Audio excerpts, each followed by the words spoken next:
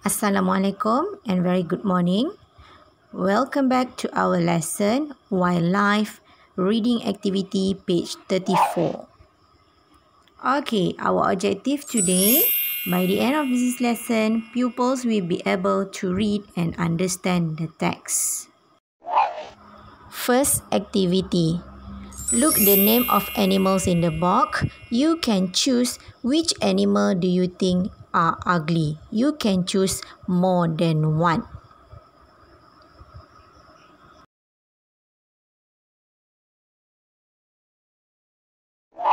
Okay, now for second activity, we need to read and listen to the text. Please be ready.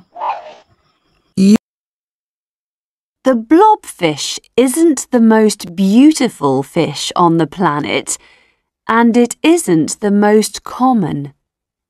It's a dull colour, and you don't usually see it because it lives 1,000 metres under the seas near Australia.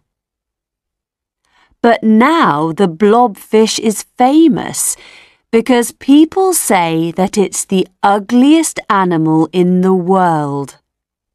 There are photos and articles about it in magazines and on the internet. This is really good for the blobfish and for other ugly animals. But why? Every year, thousands of species of animals become extinct. We often see information about the most interesting the most beautiful and the most colourful, such as whales, butterflies, or pandas. But some of the ugliest animals are also some of the rarest, and they also need our help. On lists of the world's ugliest animals, the blobfish is often number one. But there are other fantastic creatures on the lists. For example, the monkey with the biggest nose, the proboscis monkey, and the frog with the weirdest face, the purple frog. Are they really ugly? No, they're interesting and rare. The best idea is to protect all animals. Exercise 1. Check the meaning of the words in blue in sentences 1 until 3. Then read the text. Which sentences does the writer agree with?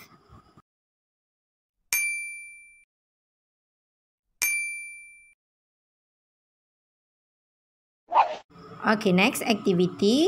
You need to read and listen to the text again and write true or false.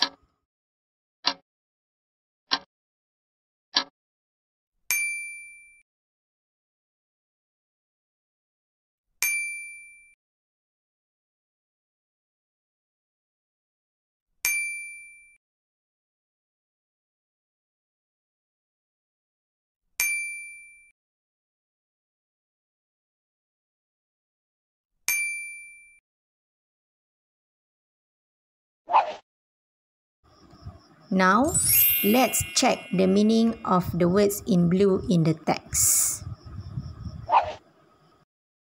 Beautiful. Pretty. Pretty. Common. Not rare. Not rare. Dull. Lacking brightness and vividness. Colorful.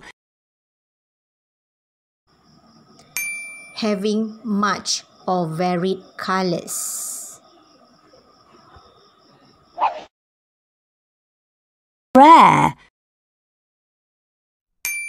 Not found in large number.